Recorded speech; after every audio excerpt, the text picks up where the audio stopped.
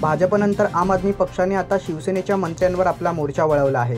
जालना जिल्ह्यातील शिवसेनेचे वतनदार नेते आणि राज्य सरकारमध्ये मंत्री असणाऱ्या अर्जुन खोतकरांवर आप नेत्या प्रीती शर्मा मेनन यांनी पाचशे कोटींचा घोटाळा केल्याचा आरोप केला आहे.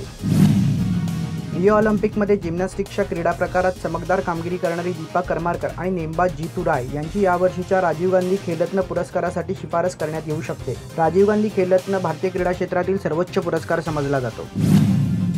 महाराष्ट्र नवनिर्माण सेनेचे अध्यक्ष राज ठाकरे बुधवारी सकाळी अचानक मुख्यमंत्री देवेंद्र फडणवीस यांच्या भेटीसाठी वर्षा बंगल्यावर दाखल झाले. सुमारे अर्धा तास चाललेल्या बैठकीत राज ठाकरे व मुख्यमंत्री फडणवीस यांच्यात नाशिकमधील पूर मराठी भाषेला अभिजात दर्जा देणे तसेच मराठी तरुणांना ड्रायव्हिंगचा परवाना अशा विविध मुद्द्यांवर चर्चा झाली.